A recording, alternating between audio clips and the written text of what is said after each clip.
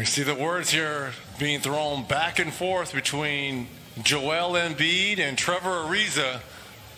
You got Caron Butler, assistant coach.